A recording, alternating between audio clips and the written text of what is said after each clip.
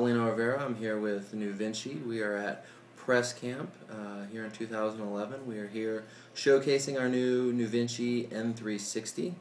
Um, the product uh, NuVinci has been out for a few years now. We are now on our third generation of the hub with some very substantial uh, improvements uh, over the previous generations. Um, initially, the uh, NuVinci hub was invented by uh, a tinkerer and inventor in Southern California who wanted to build the world's fastest uh, bicycle and beat the land speed record. Um, he saw the real um, impetus uh, or, or problem uh, being the gaps between particular gears. So he started doing a lot of research on CVTs and he came up with some very uh, novel ideas that would allow a CVT or continuously variable transmission to be integrated um, into a bicycle. So this is the first, uh, second generation of our hub, um, but it operates um, basically around a series of tilting balls that as you change the contact diameter, you're effectively changing um, your different ratio. Um, a lot of the improvements that come with the N360 have to do with the weight and the size. Um, this second generation was a little over 8 pounds. Um, this new one has roughly 30% uh, less weight, so we're right about 5.4 pounds. Um, a large part of that came with um, parts reductions, roughly uh, 160 parts um, were removed.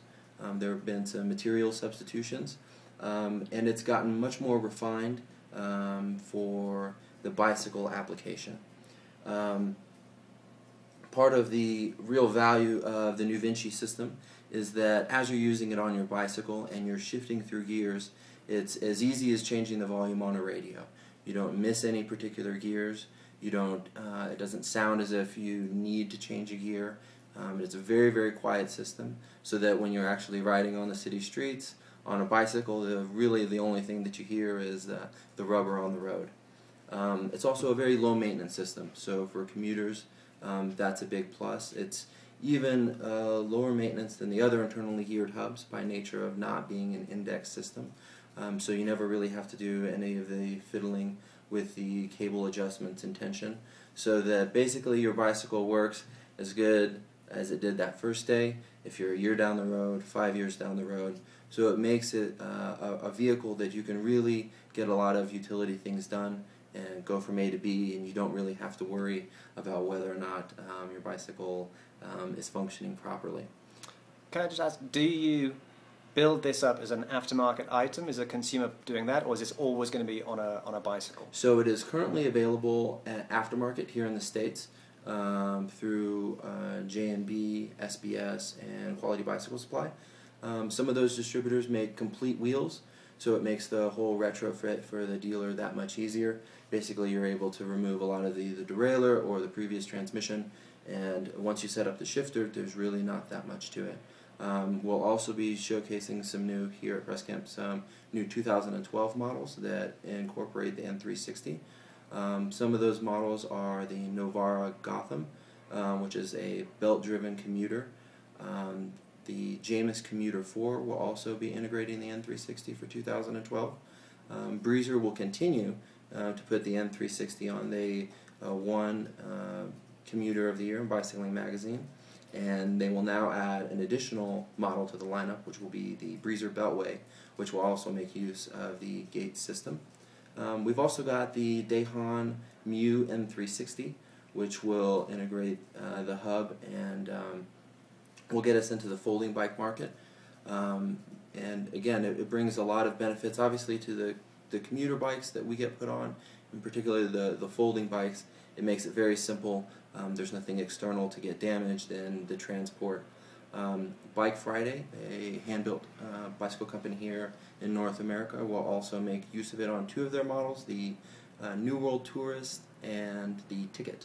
Um, there's also an e-bike company here in North America called Bodie Bicycles who will be using N360 exclusively. Um, those bicycles are a front hub motor um, that is very sleek looking and uh, it's a very aesthetically pleasing uh, electric bicycle. Um, also the Jamis Commuter 4 um, which was last year's uh, number two commuter of the year, um, will also be using the N360. So we're excited about uh, a lot of the momentum that we're gaining here in the States and uh, hope to see it uh, get to where Europe is. I'm guessing that Europe and the Netherlands and Germany are a much easier sell for this kind of product. Absolutely. Uh, you know, here in North America, um, we are our uh, populace is gradually getting to realize that for both health, environmental, and now with uh, gasoline being very expensive, that bicycles are a very good alternative for a lot of those short commutes that people are making, those you know under five mile commutes. That uh, it ends up making a lot of sense money wise, health wise, and uh, that it's good for the environment. So the principles of the uh, NuVinci system, though novel, are relatively simple. The device operates on a series of rotating balls. The power path comes in from the free hub body to the driver to what we call a traction ring, which rotates these balls in unison. These balls then react against an identical traction ring that is connected to the hub and eventually the wheel. It is the ability to tilt these balls back and forth and to change the contact diameter of where they are touching on the planets. Simply the ability to do that is what allows you to create a 360% ratio, um, which is more than a lot of the other internally geared hubs. And the power path is much simpler than you find in a lot of the, the, the other comparable internally geared hubs. So basically less stuff that could potentially break.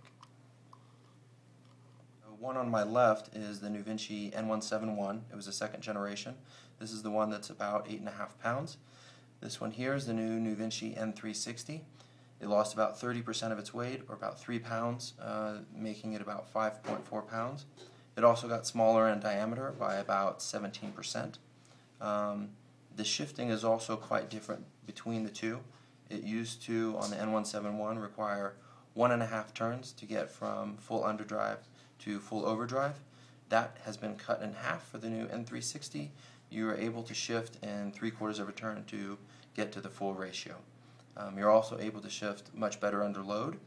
Um, and the shifting system is much easier to assemble and uh, disengage in, in the event of a flat.